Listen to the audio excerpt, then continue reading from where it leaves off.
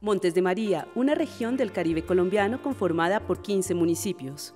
Un territorio diverso en expresiones y manifestaciones culturales que se han perdido en gran parte por el conflicto armado.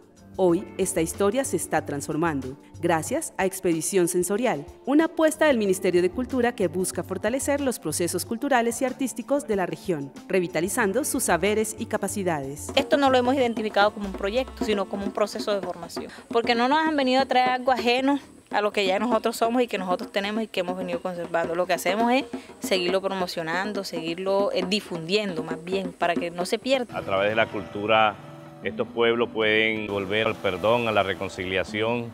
Cada músico nuevo, cada artista nuevo, cada pintor, cada bailarín nuevo es un soldado que le quitamos a la guerra.